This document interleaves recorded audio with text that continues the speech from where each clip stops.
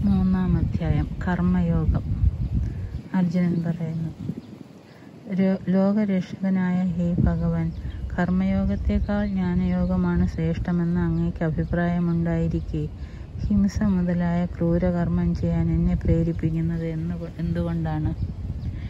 എല്ലാറ്റിലും വെച്ച് നല്ലത് ഒന്ന് ഞാൻ ചെയ്യേണ്ടത് മറ്റൊന്ന്.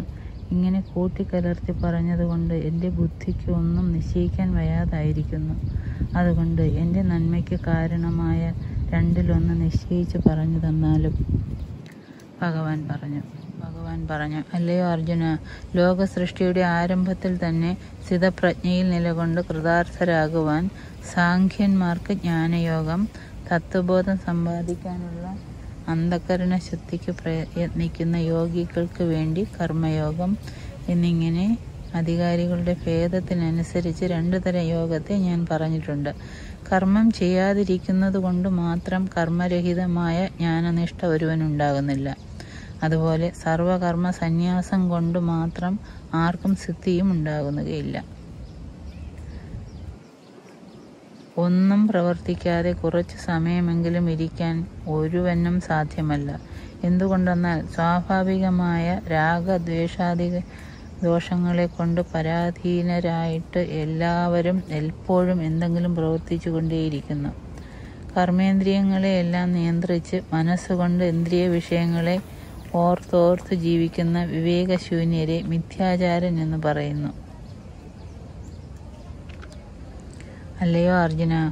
വിവേകമുള്ള മനസ്സുകൊണ്ട് ജ്ഞാനേന്ദ്രിയങ്ങളെ നിയന്ത്രിച്ച് കർമ്മേന്ദ്രിയങ്ങളെ കൊണ്ട് ഫലാപേക്ഷയില്ലാതെ വിഹിത കർമ്മങ്ങൾ ചെയ്യുന്നവൻ എല്ലാറ്റിലും എല്ലാവരിലും വെച്ച് വിശിഷ്ടനാകുന്നു. ഇനി ചെയ്യേണ്ടുന്ന കർമ്മങ്ങൾ ആവശ്യം ചെയ്യുക തന്നെ വേണം. എന്തെന്നാൽ ഒന്നും ചെയ്യാതിരിക്കുന്നതിലും എത്രയോ നേരെയാണ് കർമ്മം ചെയ്യുക എന്നത്. മാത്രമല്ല കർമ്മം ചെയ്യാതിരുന്നാൽ നിന്റെ ശരീര സംരക്ഷണം പോലും സാധിക്കുകയില്ല ഈശ്വരാർപ്പണമായിട്ടല്ലാതെ ചെയ്യുന്ന കർമ്മം മാത്രമാണ് ഈ ലോകത്തെ കർമ്മങ്ങളിൽ ബന്ധിച്ചുകൊണ്ടിരിക്കുന്നത്. അതുകൊണ്ട് ആ ബന്ധനിവൃത്തിക്ക് വേണ്ടി ഫലത്തിൽ ആസക്തി വയ്ക്കാതെ ഈശ്വരാരാധനം എന്ന നിലയിൽ കർമ്മങ്ങൾ അനുഷ്ഠിക്കുക. ലോകപിതാമഹൻ പ്രജകളെ സൃഷ്ടിക്കുമ്പോൾ തന്നെ കൂടെ യജ്ഞങ്ങളെയും സൃഷ്ടിച്ച് ആ പ്രജകളോട് ഇങ്ങനെ പറയുകയുണ്ടായി. ഈ യജ്ഞമാണ് നിങ്ങളുടെ അഭിവൃദ്ധിക്ക് കാരണം. ഇത് നിങ്ങൾക്ക് ഇഷ്ട സുഖാനുഭവങ്ങളെ തരു തരുന്നതായി ഭവിക്കട്ടെ. ഈ യജ്ഞം കൊണ്ട് നിങ്ങൾ ദേവന്മാരെ പുലർത്തുക ആ ദേവന്മാർ നിങ്ങളെയും പുലർത്തട്ടെ അങ്ങനെ അന്യോന്യം പുലർത്തുന്ന നിങ്ങൾ അത്യുത്കൃഷ്ടമായ മോക്ഷത്തിന് അധികാരികളായിത്തീരും. ഈ യജ്ഞങ്ങളെ കൊണ്ട് തൃപ്തരായ ദേവന്മാർ നിങ്ങൾക്ക് വേണ്ടപ്പെട്ട എല്ലാ സമൃദ്ധിയും യഥാവസരം വിതരണം ചെയ്യും. അവർ തന്ന ഭോഗ്യപദാർത്ഥങ്ങളെ അതിൽ ഒരു ഭാഗം അവർക്ക് സമർപ്പിക്കാതെ അനുഭവിക്കുന്നവർ ചോരന്മാരാകുന്നു. യജ്ഞം ചെയ്ത് ദേവന്മാരുടെ വീതം കൊടുത്ത് തങ്ങൾക്കുള്ള ചെറുഭാഗം അനുഭവിച്ച് തൃപ്തരാകുന്ന സദാചാര സമ്പന്മാർ സമ്പന്നന്മാർ എല്ലാ പാവങ്ങളിൽ നിന്നും മുക്തന്മാരായി തീരുന്നു കിട്ടിയതെല്ലാം സ്വന്തമായിട്ട് അനുഭവിക്കുന്ന പാവികൾ എന്നും ദുഃഖത്തെ തന്നെ അനുഭവിക്കുന്നു. അന്നത്തിൽ നിന്ന് പ്രാണികൾ ഉണ്ടാകുന്നു. അന്നം മേഘത്തിൽ നിന്നും മേഘം യജ്ഞത്തിൽ നിന്നും യജ്ഞം കർമ്മത്തിൽ നിന്നും കർമ്മം വേദത്തിൽ നിന്നും വേദം ഈശ്വരങ്കിൽ നിന്നും ഉണ്ടായതാണ്. അതുകൊണ്ട് ഈശ്വരനെ ആശ്രയിച്ചിരിക്കുന്ന സർവജ്ഞാന ഉണ്ടാകുന്നരമായ ആ വേദം എന്നും യജ്ഞത്തെ ബോധിപ്പിച്ചാണ് നിലകൊള്ളുന്നത്. അല്ലയോ അർജുന? അനാദിയായി ചു ചുറ്റിത്തിരിഞ്ഞുകൊണ്ടിരിക്കുന്ന ഈ ചക്രത്തെ അനുസരിക്കാത്തവർ ചെയ്യുന്നതെല്ലാം പാപമാണ്. അവൻ ഇന്ദ്രിയങ്ങളെ തൃപ്തിപ്പെടുത്തി സ്വയം തൃപ്തനാകുന്നു. അവന്റെ ജീവിതം നിഷ്ഫലവുമാകുന്നു. തന്നിൽ തന്നെ രമിച്ചും തന്നെ കൊണ്ട് തന്നെ തൃപ്തിപ്പെട്ടും തന്നിൽ തന്നെ സന്തോഷിച്ചും ഇരിക്കുന്ന സ്ഥിതപ്രജ്ഞന് കർത്തവ്യമായ ഒന്നും തന്നെയില്ല. ആ ബ്രഹ്മനിഷ്ഠൻ ഏതെങ്കിലും ഒരു കർമ്മം ചെയ്താലും ചെയ്യാതിരുന്നാലും അവനൊന്നും വരാനില്ല. മറ്റുള്ള പ്രാണികളിൽ നിന്ന് അവനോ അവനിൽ നിന്ന് അവർക്കോ ചെയ്യേണ്ട ഫലമൊന്നുമില്ല. അതുകൊണ്ട് ഫലാപേക്ഷ വിട്ടെന്നും ചിത്തശുദ്ധി പര്യന്തം കർത്തവ്യകർമ്മം ചെയ്യുക തന്നെ വേണം. അങ്ങനെ ചെയ്തുകൊണ്ടിരുന്നാൽ ചിത്തശുദ്ധി വഴിക്ക് തത്വനിഷ്ഠനാവാൻ സാധിക്കും. ജനകൻ മുതലായ പണ്ടത്തെ ക്ഷത്രിയന്മാർ കർമ്മയോഗത്തെ അനുഷ്ഠിച്ചുകൊണ്ട് മാത്രമാണ് രക്ഷിച്ച് ചിത്തശുദ്ധിദ്വാര മുക്തി സമ്പാദിച്ചിട്ടുള്ളത്. അതുകൊണ്ട് ലോകക്ഷേമത്തെ ഓർത്തെങ്കിലും നീയും കർമ്മം ചെയ്യേണ്ടതാകുന്നു. വിശിഷ്ടന്മാർ എന്ത് പ്രവർത്തിച്ചുകൊണ്ടിരിക്കുന്നുവോ അതിനെ നോക്കിക്കണ്ട് മറ്റുള്ളവർ അതേവിധം പ്രവർത്തിക്കുന്നു. അവൻ പ്രമാണമായി ഏതൊന്ന് സ്വീകരിച്ചിട്ടുണ്ടോ അതുതന്നെയാണ് മറ്റുള്ളവർക്കും പ്രമാണമായിട്ടുള്ളത്. അല്ലയോ പാർത്ത മൂന്ന് ലോകങ്ങളിലും എനിക്കൊരു കർമ്മവും ചെയ്യേണ്ടതായിട്ടില്ല. എനിക്ക് കിട്ടാത്തതും കിട്ടേണ്ടതുമായ ഒന്നുമില്ല. എങ്കിലും ഞാൻ കർമ്മം ചെയ്തുകൊണ്ടിരിക്കുന്നു. ആലസ്യം വിട്ട് ഞാൻ കർമ്മം ചെയ്യാതിരുന്നാൽ ഈ മനുഷ്യർ എല്ലാവിധത്തിലും മടിയന്മാരായി എന്റെ മാർഗത്തിൽ തന്നെ അനുഗമിക്കും. ഞാൻ കർമ്മം ചെയ്യാതിരുന്നാൽ എന്നെ അനുസരിക്കുന്ന ലോകം നശിച്ചു പോകും.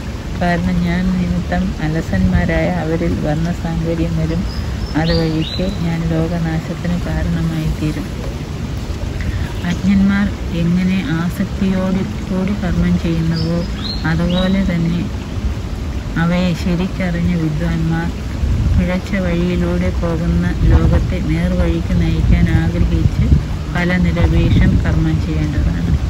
ഭഗവത്ഗീതയില്ലാത്തത് കൊണ്ട് ഫലാസക്തിയോടുകൂടി കർമ്മം ചെയ്തുകൊണ്ടിരിക്കുന്നവരുടെ ധാരണയ്ക്ക് കുഴപ്പമുണ്ടാകാതെ സത്യമറിയുന്നവൻ സാമർഥ്യത്തോടെ അവരുടെ കൂടെ പെരുമാറി സമാഹിതചിത്തനായി എല്ലാ കർമ്മവും നിങ്ങളും ചെയ്യണം. പ്രകൃതിയുടെ കാര്യമായ ഇന്ദ്രിയങ്ങൾ വിഷയങ്ങളിൽ പല വിധത്തിലും വ്യാപരിക്കുമ്പോൾ ആത്മതത്വം അറിയാത്തവൻ ഞാനാണ് കർത്താവെന്ന് വിചാരിക്കുന്നു. ഗുണകർമ്മങ്ങളെ വേർതിരിച്ചറിഞ്ഞ് വിഷയേന്ദ്രിയ സംബന്ധം കൊണ്ടുണ്ടാകുന്ന കർമ്മത്തിൽ ഒരു വിധത്തിലും ആത്മാവ് സംബന്ധിക്കുന്നില്ലെന്ന് മനസ്സിലാക്കി തത്വജ്ഞാനി ഫലാസക്തനാകുന്നില്ല. പ്രകൃതിയുടെ കാരണങ്ങളായ അഹങ്കാരാദികൾ ചെയ്യുന്ന കർമ്മങ്ങളിൽ താനാണ് ചെയ്യുന്നത് ഫലം അനുഭവിക്കുന്നത് എന്ന് വിചാരിച്ച് അവയിൽ ഒട്ടി നിൽക്കുന്ന അജ്ഞാനികളെ മൂഢന്മാരെ തത്വമറിയുന്നവർ ഒരിക്കലും അമ്പരപ്പിക്കരുത്. കർമ്മങ്ങളെല്ലാം ഈശ്വരനിൽ സമർപ്പിച്ച് അത്യാത്മഭാവത്തോടുകൂടി ആശയും മമതയും വിട്ടു വരുന്ന ക്ലേശത്തെ വക വയ്ക്കാതെ ചെയ്യേണ്ടത് ചെയ്യുക. അസൂയ വിട്ട് ശ്രദ്ധയോടുകൂടി എന്റെ ഈ അഭിപ്രായത്തെ നിത്യവും അനുസരിച്ച് പോരുന്ന മനുഷ്യർ പുണ്യപാപങ്ങളാകുന്ന കർമ്മങ്ങളുടെ കെട്ടിൽ നിന്ന് മുക്തന്മാരാകുന്നു. അസൂയ കൊണ്ട് എന്റെ ഇപ്പറഞ്ഞ അഭിപ്രായം അനുസരിക്കാത്തവർ ഒരറിവുമില്ലാതെ വിവാ വിവേകം കൊത്തു നശിക്കുമെന്നറിഞ്ഞാലും എത്ര ഞാ നല്ല ജ്ഞാനിയായാലും അല്പം പിഴച്ചാൽ ജന്മാന്തര വാസനയ്ക്കനുസരിച്ച് സ്വയം പ്രവർത്തിച്ചു പോകും. ഇത് പ്രാണി സാധാരണമായ നിയമമാണ്. ആ വാസനയെ നശിപ്പിക്കാനുള്ള സാധനകൾ അനുഷ്ഠിക്കാതെ അവയെ ഒതുക്കി പിടിച്ചതുകൊണ്ട് പ്രയോജനമൊന്നുമില്ല. ഇന്ദ്രിയങ്ങൾ ഓരോന്നും അതതിന്റെ വിഷയങ്ങളിൽ പ്രവർത്തിക്കുമ്പോൾ രാഗവും ദ്വേഷവും തന്നെ താനേ ഉണ്ടാകും. അവയെ സാധകനാവട്ടെ ജ്ഞാനിയാകട്ടെ ശത്രുക്കളെ പോലെ കരുതുമ്പോൾ അവയുടെ പിടിയിൽ പെട്ടുപോകാതിരിക്കാൻ ശ്രമിക്കണം. നന്നായി അനുഷ്ഠിക്കുന്ന പരധർമ്മത്തെക്കാളും ഗുണരഹിതമെങ്കിലും സ്വധർമ്മം ശ്രേഷ്ഠമാകുന്നു. സ്വധർമ്മം ചെയ്ത് മരിച്ചു പോയാലും അത് നല്ലതിനെ ആകാവൂ. പരധർമ്മം അത്രയും ഭയങ്കരമാണ്. അർജുനൻ പറഞ്ഞു അല്ലയോ ഭഗവാനെ ആരുടെ പ്രേരണ കൊണ്ടാണ് ബലാത്കാരേണ ചെയ്യിക്കുന്നത് പോലെ ഈ മനുഷ്യർ ഇഷ്ടമില്ലാത്തവരാണെങ്കിലും പാപകർമ്മം ചെയ്യുന്നത്? ഭഗവാൻ പറഞ്ഞു. രജോഗുണത്തിൽ നിന്നുണ്ടായതും എത്ര വിഷയങ്ങൾ കിട്ടിയാലും മതി വരാത്തതും മഹാഭാവം ചെയ്യിക്കുന്നതും ഈ കാമവും ക്രോധവും തന്നെയാണ്. ഇത് നല്ലത് ചെയ്യാൻ അനുവദിക്കാതെ ശത്രുവാണെന്ന് അനുവദിക്കാത്ത ശത്രുവാണെന്ന് നീ അറിഞ്ഞാലും പുക തീയിനെയും അഴുക്ക് കണ്ണാടിയെയും ഉമ്മീർക്കുടം ഗർഭസ്ഥ ശിശുവിനെയും മറയ്ക്കുന്നത് പോലെ ആ കാമവും ഈ ജ്ഞാനത്തെ മറയ്ക്കുന്നു. അർജുന തൃപ്തിപ്പെടാനാവാത്ത കത്തിക്കാളുന്ന തീ പോലെ ഇരിക്കുന്നതും ക്രോധം മുതലായ അനേകം രൂപങ്ങൾ ഇഷ്ടം പോലെ കൈക്കൊള്ളുന്നതും വിവേകികളുടെ നിത്യശത്രുവുമായ ഈ കാമം വിഷയാഭിലാഷം ജ്ഞാനത്തെ മറച്ച് മനുഷ്യനെ അധപ്പതിപ്പിക്കുന്നു ഇന്ദ്രിയങ്ങൾ മനസ്സ് ബുദ്ധി ഇവയാണ് ആ കാമത്തിന്റെ ഇരിപ്പിടം. ഇവയിലൂടെ ദേഹാദികളിലുള്ള ജ്ഞാനത്തെ മറച്ചു വെച്ച് ഇത് എല്ലാവരെയും തെറ്റിദ്ധരിപ്പിക്കുന്നു അജ്ഞാനത്തിലാക്കുന്നു. അല്ലയോ അർജുന ഈ കാമത്തിന്റെ ഇരിപ്പിടം മുൻ പറഞ്ഞവയാകയാൽ ഒന്നാമതായി നീ ഇന്ദ്രിയത്തെ ഒരുക്കി നിർത്തുക നിർത്തുക. അതിൽ പിന്നെ ജ്ഞാനത്തെയും വിജ്ഞാനത്തെയും നശിപ്പിക്കുന്ന ആ പാപിയായ കാമത്തെ നശിപ്പിക്കുക. ദേഹാദികളേക്കാൾ ഇന്ദ്രിയങ്ങളും ഇന്ദ്രിയങ്ങളേക്കാൾ മനസ്സും മനസ്സിനേക്കാൾ ബുദ്ധിയും ബുദ്ധിയേക്കാൾ ആത്മാവും ശ്രേഷ്ഠമാകുന്നു. ഇങ്ങനെ ബുദ്ധിയേക്കാൾ ശ്രേഷ്ഠമായ ആത്മാവിനെ അറിഞ്ഞ് വിവേകം കൊണ്ട് രൂപം മാറി സഞ്ചരിക്കുന്നതും പിടികിട്ടാൻ ഞെരുക്കമുള്ളതുമായ ആയ ആ കാമമാകുന്ന ശത്രുവിനെ ഈ മഹാബാഹു നീ പാടി നശിപ്പിച്ചാലും. ഇങ്ങനെ കർമ്മയോഗം എന്ന മൂന്നാം കഴിഞ്ഞു.